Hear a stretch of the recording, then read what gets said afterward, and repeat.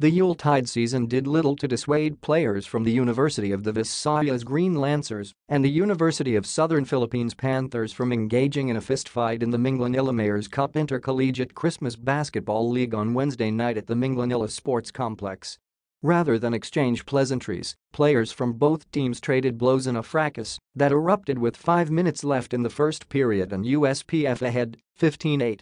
The incident was said to have been sparked by a hard foul given by USPF guard Mhike Patalinghug on a fast break attack by UV wingman Jiesel Tarrosa.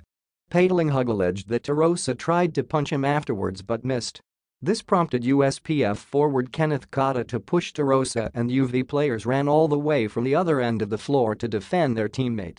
In the video footage of the incident obtained by this writer, recovering UV guard Sheldon Gahi is seen throwing a flurry of punches at Cada. Towards the end of the melee, Green Lancer forward Ubert Villaceran is also seen in the footage getting a punch in on the Panthers' big man.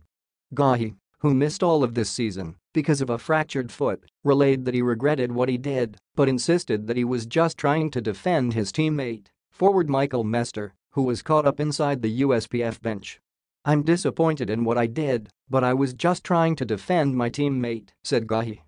UV's team captain Toto Segumpan also admitted that he and the rest of the Green Lancers ran all the way to the USPF bench after they saw Maestre getting back deep into the USPF bench.